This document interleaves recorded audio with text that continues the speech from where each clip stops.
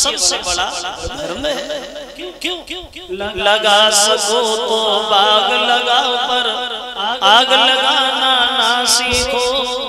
और मिटा सको तो अभिमान मिटाओ पर मान मिटाना ना सीखो। और कमा सको तो धर्म कमाओ पर पाप कमाना ना सीखो। अगर हमारे हाथ से किसी का अच्छा नहीं हो रहा है तो हम उसका गलत कार्य करें? अगर हम किसी को सुख नहीं दे सकते हैं तो उसका दिल दुखाने की हम कोशिश क्यों करें?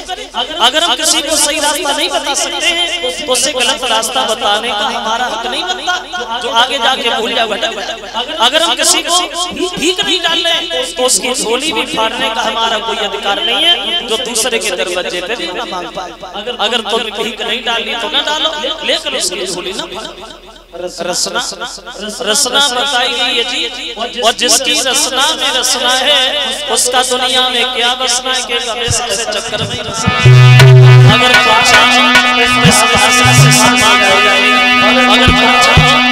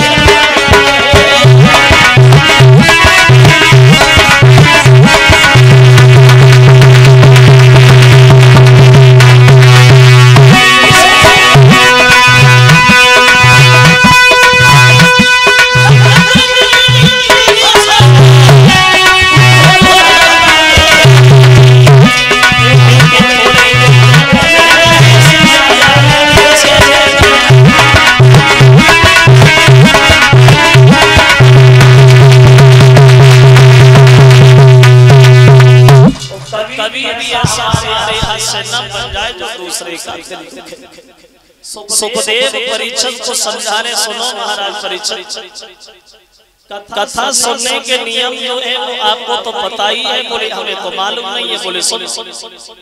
भगवान की कथा में जब भी बैठो चाहे चाहे पूरे दिन बैठो चाहे थोड़ी देर बैठो लेकिन एक चीज़ हमेशा ध्यान रखनी चाहिए। क्या नियम है कथा सुनने का?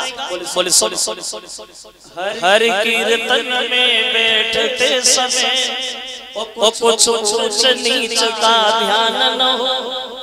अपने घर का अपने बल का ओ अपने धन का अभिमान न हो।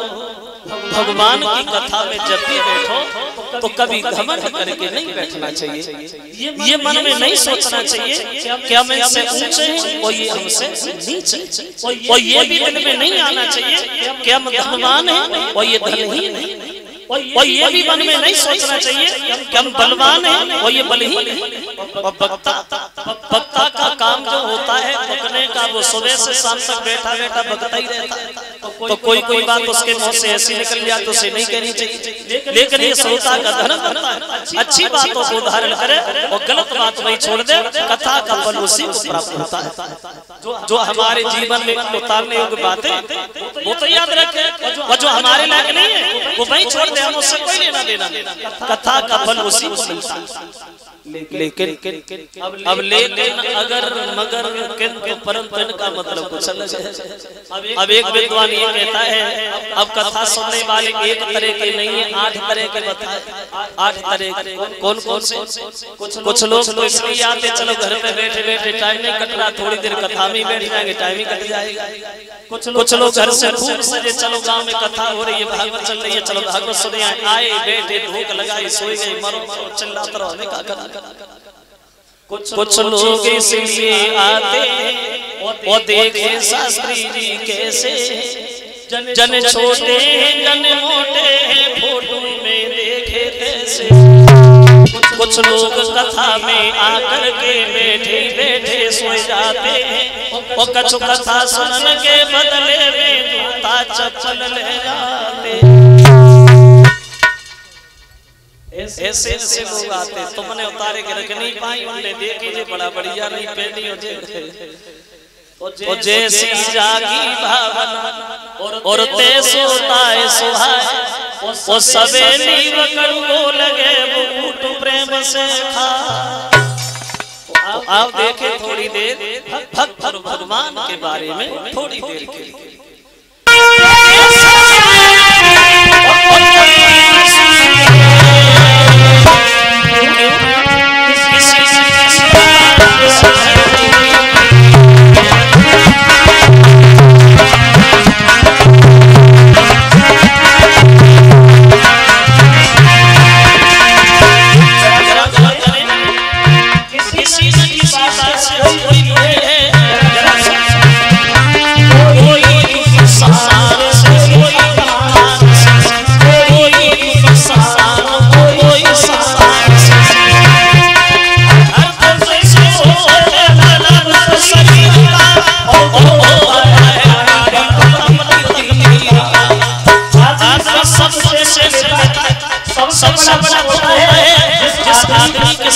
कोई बीमारी, कोई परेशानी तो उससे बड़ा दुनिया में कोई। कोई उन्होंने आज के जमाने की बात कही बोले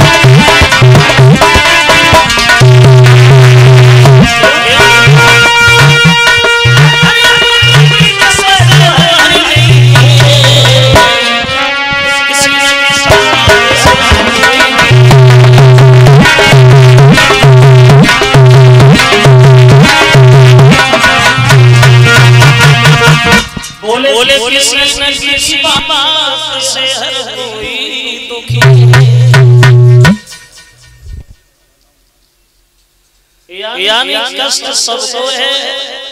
दुखी सब ये फूलों का हार। और और पाँच सौ रुपये से हमें सम्मानित कर रही हमारी अवधेश यादव मंगला महाजी जिला इटावा के रहने वाले हैं। और अवधेश ठेकेदार जी की तरफ़ से पाँच सौ रुपया हमारी करीब। और और पाँच सौ रुपया मंजीर यादव ये आवास विकास कॉलोनी पार्षद जो ये पर सोना हाल उनकी तरफ़ से।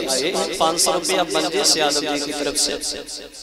और और पचास पचास रुपया सभी साथियों को भेंट कर रही है। और इक्यावन रुपया एक मुकुट से जो हमें सम्मानित किया है श्री रामदास बघेल जी ये चंदूपुरा। उनके पुत्र राहुल बघेल की तरफ़ से इक्यावन रुपया एक मुकुट से जो हमें सम्मानित किया है? कामना करते हैं भगवान समाज में सम्मान दीर्घ प्राप्त रहे। बोली बोली बोली भगवान की तो ये हरिशत दुखी थे। क्यों दुखी हुए बोले ये हरिश्चंद्र राजा तो थे लेकिन इनके घर में कोई पुत्र पैदा नहीं हुआ। तो ये दुखी होकर और देखो, देखो, एक, एक बात और ध्यान जब जब लड़का नहीं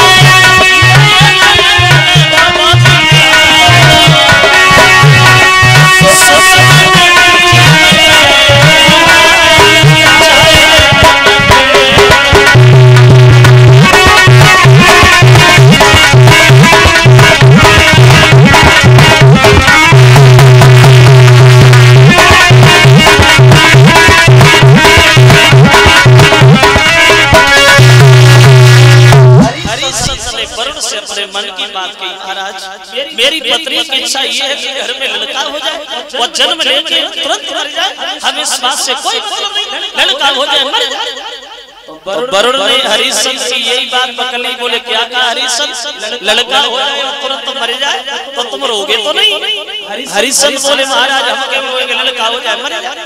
तो बोले सुनो सुनो तुम्हारे लड़का तो हो जाए।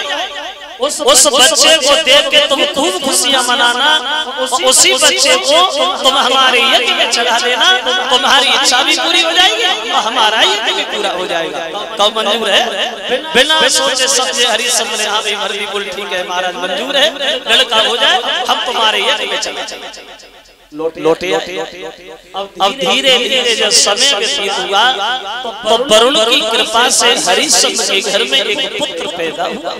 वो जब लड़का पैदा हुआ। तो हरिश्चंद्र बड़े बड़े लेकिन वो वाली बात भूल गए जो वरुण से वायदा करे आए थे कि लड़का हो जाए अब तुम्हारे यज्ञ में चला अब बच्चे की खुशी में आँगन में बधाई उसी बधाई में वरुण गए बोले इधर हमारा तुम्हारी इच्छा पूरी होनी थी वो तो हो गई अब हमारी इच्छा में क्या दे अब ये कर दो तो हरिश्चंद्र ने दोनों हाथ जोड़े बात कही महाराज सुन सुन अभी बच्चा पैदा हुआ है अगर हमने आपके यज्ञ में बच्चे को चला दिया तो इसकी माँ रो रो के मर जाएगी इसलिए हम मना तो नहीं कर रहे मगर पंद्रह दिन का समय दे दो पंद्रह दिन बाद आना तब हम तुम्हारा यज्ञ करें बरड़ो चले पंद्रह दिन बाद बोले अब क्या दे रहे अब यज्ञ करो तो हरिश्चंद्र ने फिर बहाना बना दिया बोले महाराज नहीं अभी और रुको कब तक बोले, अभी बच्चा यज्ञ में चढ़ाने के लायक नहीं कब हो जाएगा? बोले जब बच्चे के दांत निकले तब आना, तब हम तुम्हारा यज्ञ करें अब वरुण फिर वापस और जब बच्चे के दांत निकले आए अब हरिश्चंद्र का प्यार उस बच्चे से बढ़ता ही चला गया अब वरुण गए बोले क्यों हमारी बात गए तुमने ये कहा था कि बच्चे के दांत निकले तब आना अब तो दांत निकले कर बोले नहीं महाराज हम नहीं आप भूले हम क्या बोले अब तो दांत नहीं निकले आए अब तो बोले जी तो तुम भूलेंगे हमने जे वाले दांत थोड़ी बताए थे जे वाले उखड़ने के बाद जब दोबारा निकलेंगे तब आना थोड़ी जल्दी अब कोई ना कोई बहाना बना देते। और यही बात सुन ली उस बच्चे की माँ तारा ने कि हमारे पति हमारे बच्चे को यज्ञ में चढ़ा देना चाहते। तो अंधेरी रात में अपने गोद में बैठा लिया।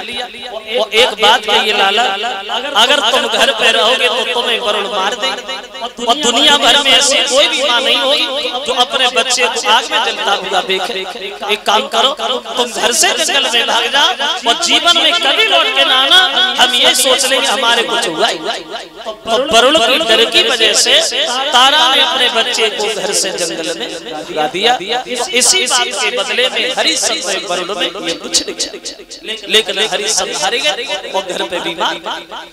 इधर रोहितास वन में भटक रहा है जरा सा बच्चा। तो इस रोहितास को विश्वामित्र के बहनों मिले अजीगर ब्राह्मण। अब अपने घर पे ले गए। बोले बोले गुरु रोहितास। रोहितास बोले बाबा जी एक काम करो। वरुण हमें मार देना चाहते हैं। आपके घर में आपके तीन लड़का उन तीन लड़कों में से एक लड़का को बेच लो और एक के बदले में हम तुम्हें सौ गाय दे देंगे और अपने बदले में तुम्हारे बच्चे को ये तुम्हें चला देंगे। तो महात्मा जी ने जब ये सुना कि एक के बदले में सौ गाय मिल रही तो महात्मा जी लोगों में बसे सोच लगे तीन है अगर एक बेच लेते तो फिर भी बने रहे कौन सी भाई बोले सुनो, हम सबसे बड़ा लड़का तुम्हें नहीं दे पाएँगे। वो हमें बहुत प्यारा है। और फिर इनकी माँ से पूछो तो माँ ने ये कह दिया हम सबसे छोटा नहीं वो हमें ज़्यादा प्यारा तो जो बीच वाला लड़का था जिसका नाम था सुना से दोनों हाथ जोड़ के बोला भैया रोहितास ना हम बापू को प्यारे और ना माँ को प्यारे तो इससे बढ़िया ये है कि वरुण को एक में चढ़ जाए बोल ठीक है तुम हमें ले चलो। और सौ गाय दे दी सोना से खरीद लिया चल दिया रोहितास। अब देखिए पिता ने कह दिया बड़ा नहीं दे पाए। और माँ ने कह दिया छोटा नहीं दे पाए। वैसे तो माता पिता के लिए संतान बराबर होती है चाहे एक हो चाहे दस हो। लेकिन एक बात ज़रूर ध्यान रखना या तो माता पिता का प्यार सबसे बड़े लड़का से हो या सबसे छोटे से और बीच में लगे रात गिनती नहीं गई। कोई नहीं मानता। अब अब रास्ता में विश्वामित्र मिले बोले कहाँ जा रहे पूरी बात बताई हम वरुण के यज्ञ में चढ़ने जा रहे बोले बड़ा गलत किया हमारे बहन बहने ने। चलो हम भी चली चली बच्चा चढ़ाने का जब नंबर आया तो उन विश्वामित्र ने वरुण की बार बार प्रार्थना की है अपने भांजे को इसे मार रोहितास को भी बचा लिया और अपने भांजे को भी बचा लिया और वरुण का जो यज्ञ था वो ऐसे ही कर दिया गया तब कई हरिश्चंद्र को सरोवर से छुट्टी ऐसे थे ये राजा जो बात को कह करके बदल जाने वाले थे अब अब वो ये अब तो हरिश्चंद्र का नियम बन गया ऐसा कोई भी नहीं जाता जिस दिन हरिश्चंद्र घर पर हवन न कर कोई भी द्वार पे आता बिना सोचे समझे से दे देते इतना नाम हुआ इतना नाम हुआ अब नाम हुआ तो बदनाम नहीं हुआ एक बात ज़रूर ये भी ध्यान रखना। आदमी समाज में अपना नाम रोशन करने के लिए बहुत मुसीबत उठाता बहुत तकलीफ़ उठाने के बाद आदमी जीवन में कहीं अपना थोड़ा सा नाम कर पाता वो जब नाम हो जाए तो लोग उसके पीछे पड़ जाते उसे बदनाम करने लगते क्यों? क्यों? क्यों? जो जो है नाम वाला वही वही तो बदनाम फिर हमारे अंगने में तुम्हारा क्या काम? जिस जिसका नाम ही नहीं तुम बदनाम गाएगा जिसकी इज़्ज़त नहीं उसकी बेइज्जती गाएगा अब नाम का बदनाम एक दिन देवता में चर्चा होने लगी भाई हरिशंकर का तो बहुत बड़ा नाम हो रहा है। अगर ऐसे चलता रहा तो कहीं इंद्र का अधिकारी ना बन जाए। बस बस तो बोले चेला के। हमारा हमें हरी समझ लेकिन कर्म को भी नहीं दिखा सकता। तो ये बात विश्वामित्र को बिल्कुल अच्छी नहीं।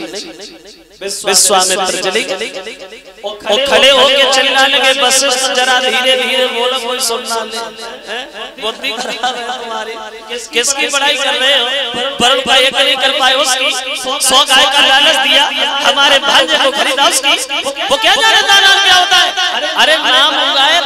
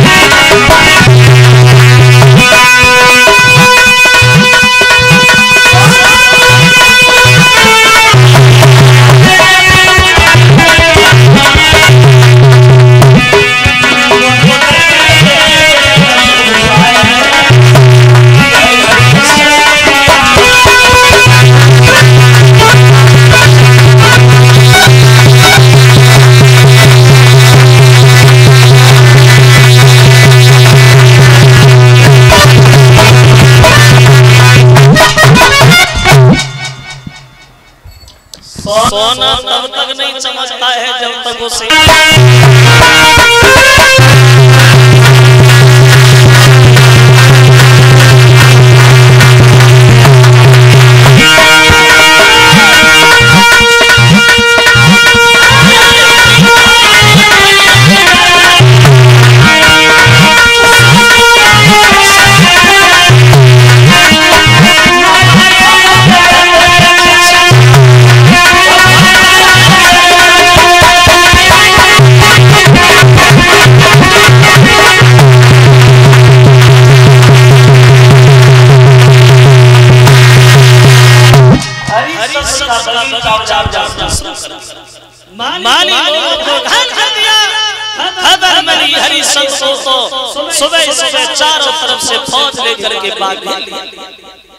बोलिए सुअर किसी के पास से निकलना तो विश्वामित्र ने देखा अब किधर जाए अब तुम गिरी गए। तो जहाँ हरिश्चंद्र खड़े हैं उनके पास से घबराते हुए भागे। अब विश्वामित्र आगे हरिश्चंद्र पीछे। तो विश्वामित्र ने देखा कि हरिश्चंद्र काफ़ी दूरी पे रह गए तो भाई रास्ता में भेष बदल लिया महात्मा बने गए बैठ करके माला चलने लगे। तो हरिश्चंद्र पास में गए बोले महाराज। आप इधर कब से बैठे हो? इधर से कोई स्वर गया है क्या भागता हुआ? विश्वामित्र बोले देखने में बहादुर लगते स्वर का शिकार करते कैसे बहादुर क्या नाम है तुम्हारा? कहने लगे प्रभु मुझे हरिश्चंद्र कहते हैं। तो नहीं हो बोले हाँ तो विश्वामित्र बोले महाराज तो हम तो बड़े किस्मत के बढ़िया निकले। हम तो तुम्हारी घर आ रहे थे। मतलब मतलब तुम्हारा बड़ा नाम हो रहा है। लोग तुम्हारी प्रशंसा करते करते थक नहीं रहे। सुबह को जगते तो तुम्हारा नाम लेके जगते शाम को सोते तो तुम्हारा नाम लेके सोते। और वही बड़ा नाम हमें आपके घर ले आया है। हमें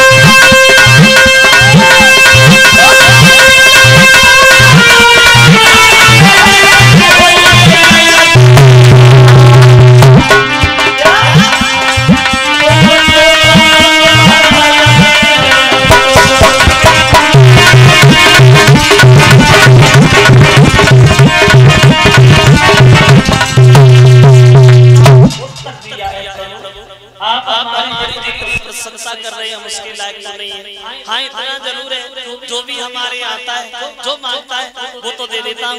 आपको कुछ चाहिए? तो विश्वामित्र बोले महाराज साधु को भाव को धन को भू को नाय। वो जो धन को भू को परे सो साधु है नाय। हमें दौलत नहीं चाहिए पैसा नहीं चाहिए। बोले फिर क्या चाहिए? बोले हरि सुन। मेरे घर में एक जवान लड़की कुआरी घूम रही है। वो हमारे ऊपर गरीबी बहुत है तो हम तो हम अपने लिए कुछ नहीं मांगेंगे, सिर्फ़ उस लड़की के लिए मांगेंगे। हमारी बेटी का विवाह कहीं बढ़िया घर में करा दो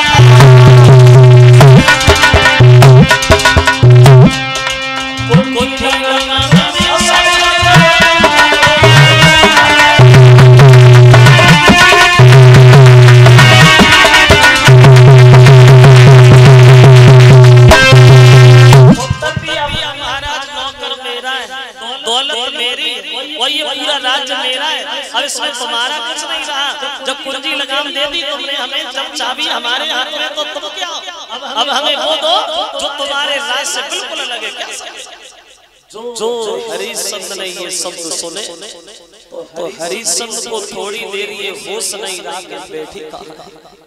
लेकिन जब धर्म की तरफ़ देखा तो सर से मुकुट उतार करके ब्राह्मण के सर पर रख दिया लीजिए महाराज ये राज आपका यहाँ के रहने वाले लोग आपके और हम तो तुम्हारी एक प्रजा के समान स्वामित्व बोले प्रजा के समान नहीं हो प्रजा हो। और ये चेहरा उतर कैसे गया अरे राज का दुख गया नहीं फिर क्या है? दक्षिणा दे रही। कहने लगे प्रभु शरीर बचा। शरीर के अलावा और कुछ नहीं है। आप हमें बेच लो अपने कर्जा को पूरा करो। विश्वामित्र बोले हाँ तुम्हें बेच लो। कौन खरीदेगा तुम्हें? झाड़ू तुम नहीं लगा पाते। पर तो तुम साफ़ नहीं कर पाते। दूसरे पे आदेश करते बोलेगा अगर कोई तैयार भी होगी तो साठ भाग सोने में बहुत महँगे पड़ोगे। कोई नहीं खरीदेगा। अकेले नहीं।